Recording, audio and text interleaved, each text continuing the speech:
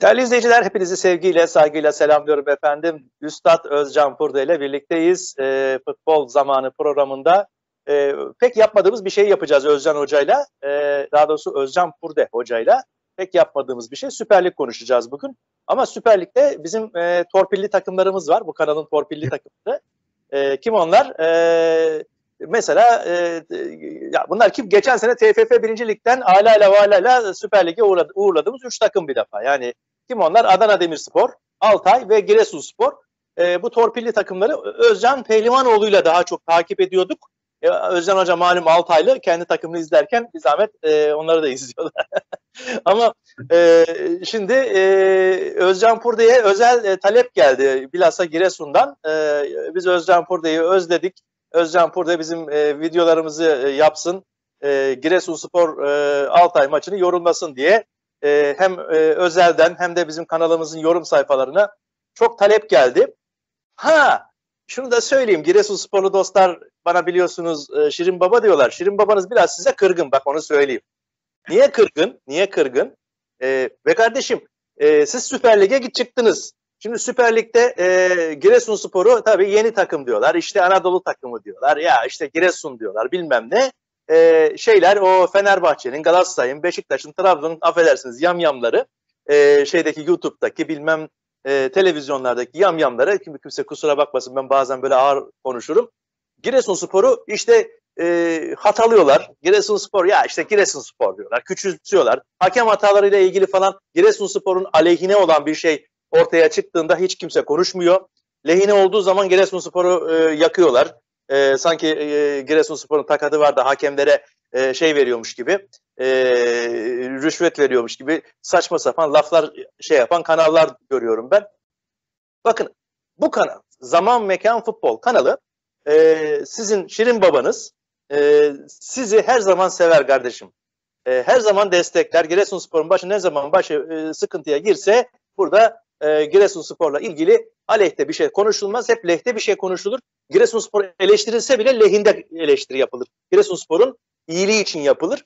E, Altay, Altay taraftarları bizi daha fazla izliyorlar. Belki de Özcan Pehlivanoğlu'ndan dolayı. Onlara çok bir şey demiyorum ama Giresunsporlulara biraz kırgınım. Biraz daha fazla izleyin arkadaş. E, Rıdvan Dilmen sizi korumaz yani onu söyleyeyim bak. E, sizi korusa korusa bak Özcan Purda korur. İşte o da tam karşımızda. Yayınımıza hoş geldiniz Özcan Purda. Hocam hoş bulduk. İstanbul'un kalbi Eyüp Sultan'dan Giresun'a selamlar, sevgiler. Kendilerine çok teşekkür ediyorum. Ben de kendilerini özledim ama biz bir alt ligi seyrediyoruz. Öyle bir paylaşma var bizim Zaman Mekan Futbol kanalımızda. Ee, üst ligi Özcan Hoca'ya ver, verdik. Ee, tuttuğu takım Altay Süper Lig'de mücadele ediyor. E, tabii Giresun'u değerlendiriyor. Adana Demirspor var. Bütün takımları değerlendiriyor. Biz de kendi tuttuğumuz takım olan Eyüp Spor bir alt ligde olduğumuz için olduğu için biz de daha çok yoğunluğumuzu e, alt lige verdik. TFF birinci lige verdik ama bu değildir ki yani bu şöyle bir şey biz Giresun'un bütün maçlarını da böyle can kulağıyla dinliyoruz radyodan dinleyebiliyoruz dışarıda olduğumuz zaman e, evimizde olduğumuz zaman mutlaka e, müsaitsek o anda eğer TFF birincilik maçı yoksa mutlaka Giresunspor'un maçını seyrediyoruz e, e, seyredemediğimiz durumlarda da mutlaka özetlerini, attığı golleri e, ve oynadığı futbolun ne düzeyde olduğunu anlayabilmek için e, sürekli bir Giresun takibi yapıyoruz. Ben buradan e, özlem gidermek için bütün Giresunlu kardeşlerime selamlarımı iletiyorum. E, hocam şimdi Giresunspor sezona hiç iyi başlamadı. E, kötü bir başlangıçta hakikaten kötüydü ama e, oynadığı futbol bir umut veriyordu. Böyle hani bir e, e, kadro derinliği yok falan filan hep bu söylenen şeyler ama dirençli bir futbol sergiliyordu. E, ben hep geçen seneden beri Giresunspor'u şeye benzetiyordum. Almanya'nın e, başaltı takımlarına, Alman liginin başaltı takımlarına. İşte bir Dortmund değil belki, bir Bayern Münih değil ama işte biraz daha alt e, şeyde ama o takımlar çok dirençli takımlar oluyorlar. Kolay kolay yenilmiyorlar. E, bir oyun sistemleri oluyor. Giresunspor geçen sene böyle bir sistemle e, Süper Lig'e e, çıktı ve şimdi de Süper Lig'de aynı ekolü devam ettirerek e, hakikaten böyle bir en azından orta sıralara doğru bir e, şey yaptı, e, hamle yaptı. Dün oynanan e, Altay karşılaşmasında 3-1 kazanarak e, bu hamleyi de perçinledi. e, şöyle bakıyorum e, yanlış bir şey söylemeyeyim diye. 31. dakikada Süleymanov'un golüyle efendim 22 puana yükseldi bu arada hocam Giresunspor. Tabii tabii ona da geleceğim. 31 puan, e, 31. dakikada Süleymanov'un golüyle 1-0 öne geçtiler. E, 61'de Balde, e, golcü Balde, e, gol canavarı sahneye çıktı 2-0 yaptı. E, daha sonra 72'de Diabete e, penaltıdan e, skoru e, 3-0'a getirdi. Altay'da Poco'nun attığı şık bir kafa golüyle 81. dakikada e, skoru 3-1 yaptı. Puan tablosuna da bir bakalım. Ondan sonra sözü ben sana bırakacağım abi. E, Altay ne yazık ki 17 maçtan 18 puanda kaldı ki lige iyi bir başlangıç yapmıştı. Ne yazık ki durumu pek parlak değil. Alt sıralara doğru hızla iniyor ve toparlanma ihtiyacı duyuyor.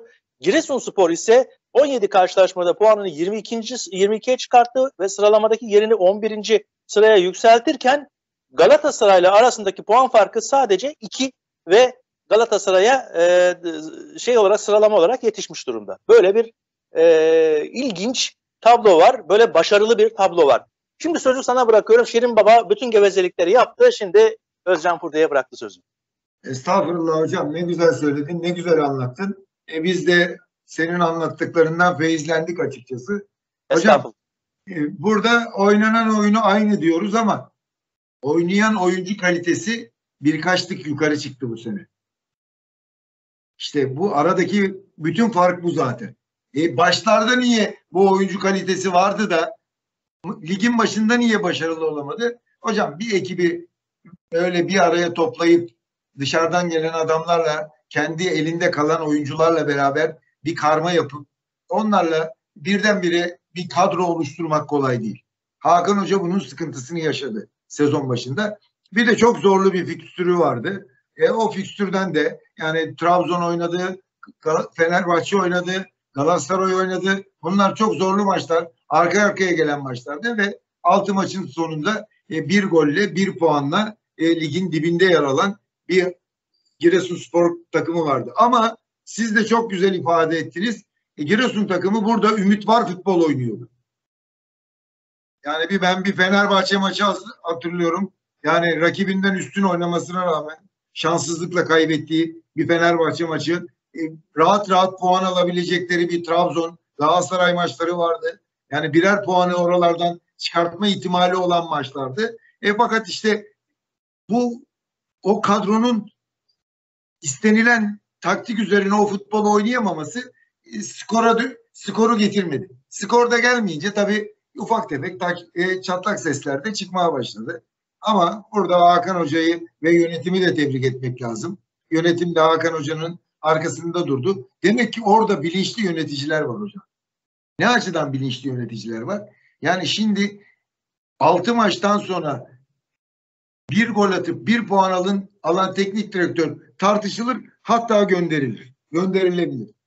Ben bir sezon Eyüp'ten bir örnek vereceğim. Eyüp Spor'da e, genel menajerlik yapıyordum. Mehmet Şansal diye bir hocamız vardı bizim.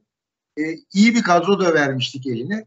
Fakat 6 maçta 0 puan aldık. Yani bir hükmen galibiyetimizin dışında 6 maçta yani 3 puanımız vardı. Galibiyet alamadan 6. maçı bitirdik. Ee, Ankara'da bir Oftaş Spor vardı. Ona 6-0 yenildik ve tartışma başladı hoca üzerine. İşte orada ben ümit var futbolu gördüm. Ve o hocayla normalde gitmesi lazım. Başarısızlıkta gider. O hocayla devam edip sonunda Ordu Spor'a kaybettiğimiz son maçlar son maçlarda Ordu Spor'a kaybettiğimiz bir sezon vardı. İşte niye, neden bunu anlattım? Burada da doğru tespit yapan, oradaki takım bütünlüğünü, oyunun geleceğini, oynanacak, oynanan oyunun e, te, Süper Lig'e uygun olduğunu gören yöneticiler Hakan Hoca'nın da arkasında durdular. E, bunu zaten e, ulusal kanalda yorum yapan birçok e, spor yorumcusu da böyle söylüyordu zaten. Yani herkes hakkını veriyordu Giresunspor'un. Genelde tabii yani fanatik gözle bakanların dışında ve Giresunspor takımı Hakan Hoca'nın arkasına durarak bugün 22 puanı yükseldi. Hocam çok önemli.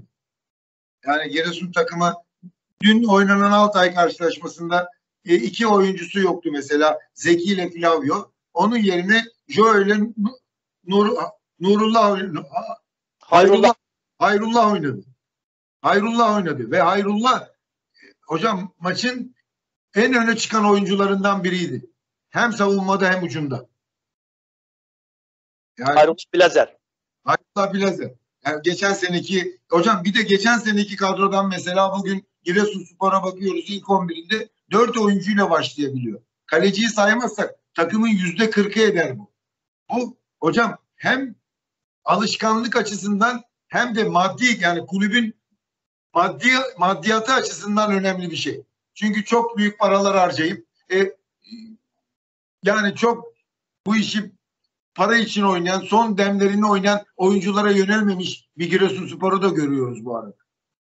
Ve Giresunspor işte eski oyuncularla yeni oyuncularını da birleşerek dün de Altay karşısında e, gerçekten yani çok iyi futbol oynadılar. Sadece bir şeyi eleştireceğiz dersen yani 3-0'dan sonra e, normal olarak oyuncu e, koruma içgüdüsüne giriyor bu tür maçlarda. Orada son bölümde bir Altay'ın e, baskısını ve üstünlüğünü gördük. E, ama onun dışında gerçekten atılan goller, e, kazın girilen gol pozisyonu, takımın yardımlaşması, seyirciye de bir ayrı paragraf açmak lazım. Giresun seyircisine. Hocam gerçekten alkış hak ediyorlar. Maç boyunca oyunun 0-0 olduğu dönemlerde e, 1-0 öne geçtikten sonra e, rakibin yapabileceği ataklarda yani oyun içerisinde sürekli oyuncularına destek vererek varlıklarını hissettirdiler. İşte taraftarlık bu. Hocam her zaman skor ne olursa olsun maçın son düdüğüne kadar takımını destekleyeceksin ve coşkulu ve hatırı sayılır da bir kalabalık vardı e, Giresun tribünlerinde ve o seyirciyle beraber bütünleşen oyuncular da maça çok iyi konsantre oldular ve karşılaşmadan e, yani net bir skorla ayrıldılar. Son dakikalarda tabii gelen gol, kaçan penaltıyı ben ayrı bir yere koyuyorum. Hocam Giresunspor bu lige yakışıyor. Bunu söylememiz lazım. Altay'da yakışıyor. Altay takımını da hocam güzel maç oldu. Dün gerçekten iki takımda yani ofansif yani biz Hakan Hoca'yı defansif yönde oynatıyor diye eleştiriliyor ama bugün baktığınız zaman bekleriyle oyuna çıkan orta sahadaki e, ön liberoda oynayan oyuncuların sürekli savunma arkası koşular yaptığı ve Baldwin'in yanında e, ço çoğalarak ona yardımcı olduğunu görüyoruz. E, hocam bu savunma oyunuyla oynanmaz. Demek ki hücum ve savunmayı bir arada yapan bir Giresun takımı var ve e, hak edilen bir galibiyet aldı.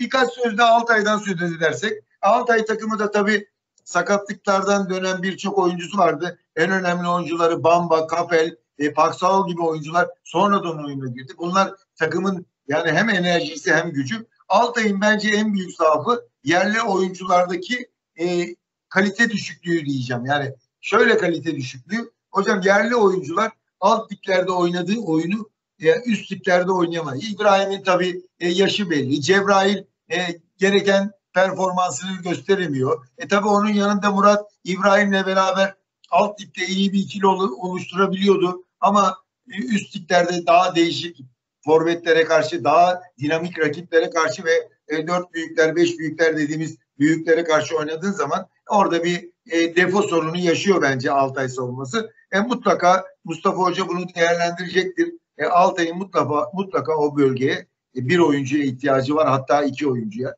iki oyuncu alabilirse Altay içinde ümitsiz olacak bir şey yok. 18 puanla 16. sıradalar ama e, Altay takımında dün gösterdiği 3-0'dan sonra gösterdiği refleks önümüzdeki haftalar için e, bize bir tüyo verdi. Yani dedi ki bizi iyi seyredin biz yavaş yavaş geliyor. Hocam kolay değil. Sakatlıktan çıkan oyuncuların eski performansına hemen bir iki haftada dönmesi kolay değil. E, o sıkıntıları yaşıyor. Oyuncu mesela Altay'da da Giresun'da olduğu gibi ilk 11'inde 5 tane sonradan girenlerle 9 tane geçen seneki kadrodan oyuncu var. Burası önemli. Hocam yani başarısız olabilirsin. Hep bunu söylüyoruz. Futbolda bu var. Üç neticeli oyun. Ama kulübün geleceği önemli. Başarısız olursun, alt lige düşersin. Bir sene sonra tekrar çıkarsın. Bunu bunu yapabilmek için doğru adımlar atman gerekiyor ve ben bu iki, iki takımımızın da doğru adımlar atarak Süper Lig'de yer aldığını görüyorum ve bu beni memnun ediyor. Ben iki takımı da gerçekten seviyorum. Altay'ı eski e, e, bu ligin Süper Lig'in en eski takımlarından biri olduğu için e, Giresunspor'u da yani orada çok değerli arkadaşlarımız, abilerimiz oynadı ve oynadığı futbol da hoşumuza gidiyor. O açıdan e, iki takımı da seviyorum ve biraz evvel söyledim bu lige yakışıyorlar. Böyle devam edip gevşememeleri gerekiyor yalnız. Hocam bu lig acımasız. Süper Lig'de yani ben ne yıllar hatırlıyorum. Adam ligi ilk yarısını dördüncü sırada tamamlıyor. Acaba diyorsun UEFA kupasına mı gidecek? Sene sonu sıralamaya bir bakıyorsun. 34. hafta küme düşmüş. Ayda. Nasıl oluyor bu diyorsun? İşte gevşemek. O açıdan tabii çok tecrübeli. Yani Mustafa Denizli var Altay'ın başında. Yani Altay takımında mesela hocam başarısız olduğun zaman 10 haftadır galip gelemeyen bir Altay var. 7 mağlubiyet 3 beraberlik almış. Bu Mustafa Hoca'nın belki kariyerinde yoktur. Eleştirilebilir. Gayet normal. Ama hemen Mustafa Hoca'yı gönderelim. Yenisi gelsin. Artık yaşlandı gibi ben e, yorumlar okuyorum. Herkesin yorumu kendi, kendinedir. Saygı duyuyorum. Ama e, Mustafa Hoca bu işi çok iyi bilen. E, yani oradaki takım bütünlüğünü yaratabilecek ve Altay'ı ileriki yıllarda e, belki de daha yukarılara oynamasını sağlayacak çok önemli bir futbol adamı. O açıdan hemen böyle değerlerimizi e, harcamamak gerekiyor. E, hocam zevkli bir maç seyrettik. Her iki takıma da oynadıkları futboldan, verdikleri mücadeleden dolayı ben kendi adıma futbol sever olarak teşekkür ediyorum. Hocam e, Altay'da e, ve Giresunspor'da iki takımı karşılaştırdığımız zaman e, en önemli farklılıklar arasında kale kaleci mevkileri var bence. Hani Altay'ın kalecisi e, evlere şenlik bir gol yedi. Yani e, bu, bu, bu ligde yenmeyecek bir gol yedi. E, ve daha evvel de buna benzer falsolar yaptı. Bence Altay'ın defans hattının dışında kalecisini de e, bir daha masaya yatırması lazım diye düşünüyorum. Ben size e, programın sonunda hem Altay hem de Giresunspor için bu önümüzdeki e, transfer mevsiminde hangi mevkilerde daha çok transfere ihtiyaç olduğunu sezinliyorsunuz diye sorayım. Hocam kaleci konusunda yani şöyle kalecinin yediği hatalı bir gol var ama ben kaleciyi sizde aynı fikirde değilim. Yani kaleci gol yer hata olabilir. E, ama ben kaleciyi güvenli görüyorum. O yediği hatalı golün dışında kurtardığı bir kafa topu var ki her kalecinin çıkartabileceği bir top değil o. E, birkaç tane de çok önemli karşı karşıya kalınan pozisyonlarda iyi reflekslerle açı kapatarak e, kurtardığı toplar var. Lis bence Altay için yeterli bir kaleci. Altay'ın o o bölgede bence oyuncuya ihtiyacı yok. Altay'ın stoper mevkiinde ön tarafı ön tarafında bir kalabalıklık var. Ön tarafında bir kalabalık var. Ben maçtan sonra Mustafa Hoca'nın da yorumunu da dinledim. Mustafa Hoca bir oyuncu alacak alacağız diyor. Tahmin ediyorum e, savunmanın merkezine bir oyuncu alacaklar. Ama bence o sayıyı ikiye çıkartmalı. Altay mutlaka. Hocam lig uzun maraton. Orada oynayan oyuncular tabii İbrahim 40 yaşına dayamış. E, Murat tabii biraz e, acemi kaldı ligde. E, gelecek iki oyuncuyla bence orayı garantiye altına alabilir. Hatta orada bulabilirse e, şimdi transfer sezonu açılacak birçok Türk oyuncu e, boşta kalma ihtimali var. Oraya bir Türk oyuncu yerleştirebilirse alacağı yabancı, yabancı oyuncuyla beraber iyi bir ikili yaratabilir. Biraz bir, demin de söyledim. Türk oyuncu e, kalitesini biraz yükseltmeli Altay. E, Giresun spor takımı tabii bütçesine göre transfer yapabilir. Yani ben dün Süleymanov'u da beğendim. Yani şey gözle seyrettim böyle alıcı gözleri. E, Balde'yi gördüm, Sergio'yu gördüm, mutlu oldum. Niye mutlu oldum? Bunların bir üst ligde de rahatlıkla oynayabildiklerini gördüm. Yani Diarra'yı gördüm, yaptığı kademeler, verdiği mücadele, geçen seneki maçları hatırlayalım. Gerçekten önemli hamleleri oluyordu. Diarra'nın takıma ayakta tutuyordu. E tabi Hayrullah'ı gördüm, iki asist. Gerçi ilkine ben asist diyemeyeceğim. Yanındaki top ayağından kaçarken e, arkadaşına geldi. O arkadaşı da güzel bir vuruştu ama asist geçiyor bugün baktığınız zaman sosyal medyada asist. Ama ikinci e, şeyin attığı gol, Balder'in attığı golde e, attığı uzun topta gerçekten harikaydı. İşte bir savunma oyuncusu, kenarda oynayan bir savunma oyuncusu böyle topları öne isabetli atabilirse takıma da katkısı çok yüksek olur. Bence Giresun'un transferden önce Okan'ı elden çıkartmaması gerekiyor. Hocam Galatasaray'ın kalecisi kaleciye ihtiyacı varmış. Ya Galatasaray büyük takım. Galatasaray istediği yerden kaleci bulur. Ya bırakın adam da oynasın kardeşim Giresun'da. Zaten havaya da girmiş. iyi de oynamaya başlamış. Dokunmayın Giresun'uma, Giresun'uma kardeşim. Adam öyle hocam gerçekten öyle. Yani adam yavaş yavaş form tutmuş. Giresun kalesi emin ellerde diye herkes konuşuyor söylüyor. Bence Galatasaray kulübü hiç talip olmasın Okan'a. Başka bir kapıya gitsin, başka kapıdan kendine kaleci bulsun diyorum ben. öyle gerçekten öyle. Peki. Hocam çok teşekkür ediyorum. Ee, yani Giresunspor ve Altay tabii biz o takımları özledik. Yani e, özellikle de ben Özcan Pehlivanoğlu'yla zaman zaman e, hem Giresunspor hem Altay'ı konuşuyorum ama e, senin de özlediğini biliyorum. Onlar da seni özlemişler. Biz de e, böyle bir nostalji yapalım dedik bu defalık. E, ha şunu da söyleyeyim. E, Giresunlu e, ve Adana Demirsporlu taraftarlar, yine Altaylı taraftarlar geçen sene bizim kanalımızda ben biliyorum. çok özür dilerim. Ben biliyorum ki e, yüzlerce e, yani videolarından biliyorsunuz. Yani kaç izleyici var? E, baktığınız zaman e, işte geçen sezon e, yani en kötü karşılaşmalarında bile çok sayıda izleyicisi e, bizim kanalımızı izliyordu. Biz tabii TFF birincilik ağırlıklı yayın yaptığımızdan mıdır nedir bilemiyorum. Süper Lig'e çıktıkta e, çıkan bu üç takımımızın taraftarları e, artık eskisi kadar e, şeyleri izlemiyorlar. E, bizim kanalımızın e, videolarını izlemiyorlar. E, diyeceğim ki ya herhalde şeyden izliyorlar ne bileyim hani e, bu e, ulusal kanalların e, televizyon ben, izliyorlar. Ben sizin söyleyecektim. Şimdi o kanallarda da artık Giresunspor, Adana Demirspor ve Altay sık, sıklıkla tartışılmaya başladı. E, oraya yöneliyorlar. Gayet doğaldır. E, bizi, bizi biraz da biraz da bizim kanalımıza gelirlerse biz de memnun oluruz. Kendilerine buradan Eyüp Sultan'dan klasik selamımızı söyleriz.